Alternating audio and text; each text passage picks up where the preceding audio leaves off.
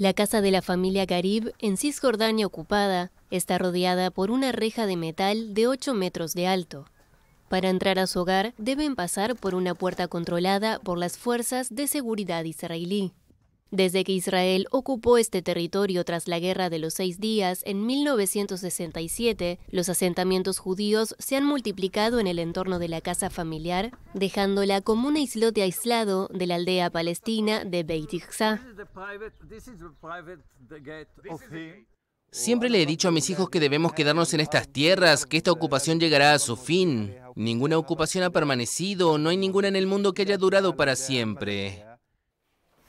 Durante años, la casa estuvo rodeada de terrenos de cultivo.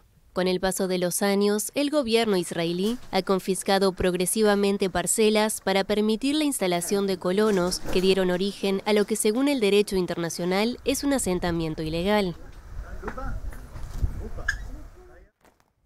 Nosotros, quienes suponíamos tener un área de 100 hectáreas, que suponíamos vivir en libertad, con una tierra espaciosa para la agricultura, ahora nos queda solo esta casa y no tenemos ninguna libertad de movimiento. Los niños ni siquiera tienen espacio para jugar, para respirar.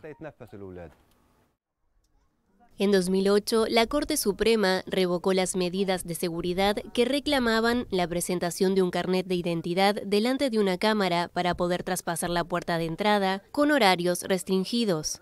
Pero cuando las fuerzas de seguridad estimen que existe algún riesgo, entonces pueden cerrar la puerta a voluntad. Ahora, los integrantes de la familia no tienen acceso a sus olivos que están del otro lado de la colonia, por lo que para cultivarlos dependen de la voluntad del ejército israelí.